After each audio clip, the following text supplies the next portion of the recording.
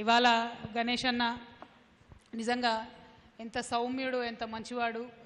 Positive politics growth politics ఒక మంచి వాతావరణంలో ఒక అర్బన్లో ఉండాల్సినటువంటి క్యాండిడేట్కి అన్ని లక్షణాలు ఉన్నటువంటి వ్యక్తి మన గణేష్ అన్న.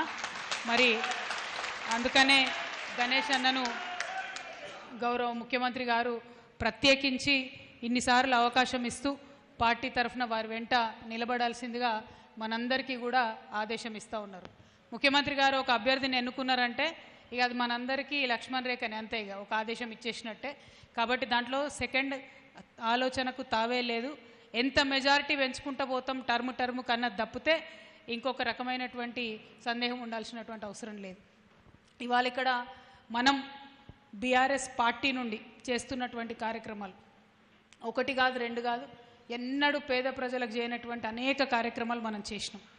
కాకపోతే ఒకటే నాకు మీ అందరితో షికాయత్ ఏంటంటే మనం తెలంగాణ వాళ్ళం పని చేస్తాం కానీ చెప్పుకోము ఎక్కువ. అని చెప్పుకోవాలి కొద్దిగా. చేసినాం ఈ పని చేసినామని ఇంటింటికి పోయి గల్లీ గల్లీకి పోయి ఎందుకంటే ఇవాళ రేపు బాగా మాట్లాడేటోళ్ళది రాజ్యం అయిపోయింది. మొత్తం సోషల్ మీడియా ఫ్రీగా మోపోయింది ఇక దాంట్లో వచ్చినోడు రానోడు పనిచేసినోడు చేయనోడు అందరు కూడా మాట్లాడే మొదలు పెడతారు అయితే మాటల పిట్టలను ఎక్కువ రోజులు ప్రజలు నమ్మరు. ప్రజలు ఖచ్చితంగా పని ఎవరు చేసిండ్రు అన్నదే ఆలోచన చేస్తారు. కానీ యాజ్ అ కార్యకర్త నేను కేసీఆర్ సార్ కార్యకర్తగా కేసీఆర్ సార్ సైనికుడిగా నేను చెప్పాలి పోయి. సార్ ఏం చేసిండ్రు? సార్ ఆలోచన ఏంది? ప్రజలందరికీ అర్థమయ్యేటట్టు చెప్పాలి. అది మన ఫండమెంటల్ బాధ్యత. సో ఇవాళ మీ అందరికి తెలుసు తెలంగాణ ఉద్యమ సందర్భంలో కేసీఆర్ గారు ఒక మాట అనేటోళ్ళు. నేను ఒక్కని చెప్తే సరిపోదు. మీరందరూ మరొక్కొక్క కేసీఆర్ అయి ప్రతి ఊర్లో ప్రతి పట్టణంలో చెప్పాలని చెప్పి. అట్లా చెప్పినాం కాబట్టే ఇవాళ మనకు తెలంగాణ రాష్ట్రం సాధ్యమైంది. సో మీ అందరితో నా రిక్వెస్ట్ ఏంటంటే ఎన్నికనంటే ఆగమయ్యేది ఏం లేదు. ఎన్నికంటే ఏంటిది? మనము పోయి మనం చేసిన పని ఇది అని ప్రతి తలుపు తట్టాలి ప్రతి గుండె తట్టాలి. అంతకుమించి వేరే ఏం లేదు. అది అది ఎట్లా చేస్తాం? ఏ ప్రణాళికతో ముందుకు పోతాం అన్న దాంట్లో గణేష్ అన్న మీరు ఎందుకంటే మనకు ముందు నుండి క్లారిటీ ఉంది. గణేష్ అన్ననే మనకు వస్తారు. గణేష్ అన్ననే మన ఎమ్మెల్యే అని మనందరం మనస్ఫూర్తిగా నమ్మినాం కాబట్టి వారి కోసం నిరంతరం మనం మాట్లాడుతూనే ఉన్నాం చెప్తూనే ఉన్నాం. ఇంకా ఈ నెల రోజులు ఇంకొంచెం పెద్ద ఎత్తున చెప్పాలి. దానికి ప్రత్యేకమైనటువంటి కార్యాచరణ గణేష్ అన్న నేను ఆల్మోస్ట్ ఫోర్ ఫైవ్ డేస్ నుంచి మాట్లాడుతూ ఉన్నాం. వార్డు వార్డుకి ఎట్లా పోవాలి? ప్రతి ఇంటికి ఎట్లా తిరగాలి? ఎట్లా టచ్ చేయాలి? మహిళలం ఏం చేయాలి? యువకులు ఏం చేయాలి? విద్యార్థులు ఏం చేయాలి? వివిధ కుల సంఘాలను ఎట్లా మనము అప్రోచ్ అవ్వాలి ఎవరిని ఎట్లా కలవాలి అన్నటువంటి అనేకమైనటువంటి అంశాలను మాట్లాడుతూ వచ్చినాం. గణేష్ అన్న మళ్ళీ మీకు చాలా మందికి ఇదివరకే కూర్చోబెట్టి డివిజన్ వారీగా పనులు అప్పచెప్పడం జరిగి ఉంటుంది మళ్ళీ కూడా మనం ఎట్లెట్లా చేసుకుందాం అన్నది తప్పకుండా అప్పచెప్తూ పోదాం. అదేవిధంగా మీ అందరికీ తెలుసు ఒక పక్క మనం చేసింది చెప్పుకోవడం ఇంకొక పక్క అవతల నుండి వచ్చేటటువంటి విమర్శకు ధీటుగా జవాబు చెప్పడం. జవాబు చెప్పాల్సిన సమయం ఇది. ఎందుకోసం అంటే మనం ఏదో అంటారు కదా ఒక చిలుక ఉంటుందట బాగా మాట్లాడే చిలుక. ఆ మాట్లాడే చిలుకనికి ఇట్లనే గణేష్ అన్న అంటే అన్న అన్న నాన్ వెజ్ తిన్నాడు కాబట్టి అట్లే మా సిరిపరాజు అన్న మాట్లాడే చిలుకని పట్టుకొని వచ్చిండట.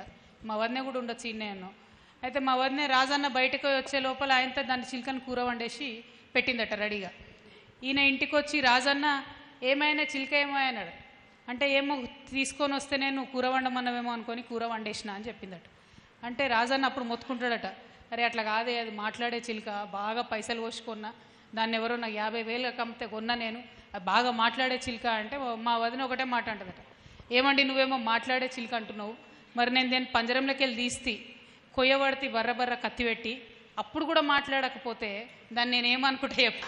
మాటలు వచ్చి వేస్ట్ కదా దానికి. అర్థమవుతుంది సో మాటలు వచ్చి పని చేసి అన్నీ ఉండి చెప్పుకోలేక మనం ఎందుకు బాధపడు మెజారిటీ తగ్గించుకుండు? గెలుపు డౌటే లేదు. ఎవరన్నారా అని ఎవరన్నా ఉండని గణేష్ అన్న గెలిచిపోయింది ఆల్రెడీ. అందులో అనుమానం లేదు. మెజారిటీ ఎంత ఎక్కువ అన్న దాని మీదనే చర్చ మెజారిటీ కోసమే మన ప్రయత్నం. అది కూడా సమానంగా రావాలి మెజారిటీ. ఎందుకంటే సమానంగా అభివృద్ధి చేసినాం మనం. ఇగో ఈ డివిజన్లో మా కార్పొరేటర్ లేడు. అగో ఆ డివిజన్లో ఇంకొక పార్టీ కార్పొరేటర్ ఉన్నాడు మనం ఎప్పుడు చూడలే అట్లా. ఎందుకంటే ఏ డివిజన్లో ఉన్నదైనా మన ప్రజలే ఏ డివిజన్లో ఉన్నదైనా మన నిజామాబాద్ బిడ్డలే అని అనుకున్నాం కాబట్టి సమానంగా అభివృద్ధి చేసినాం సమానంగా ఓట్లు తెచ్చుకోవాలి.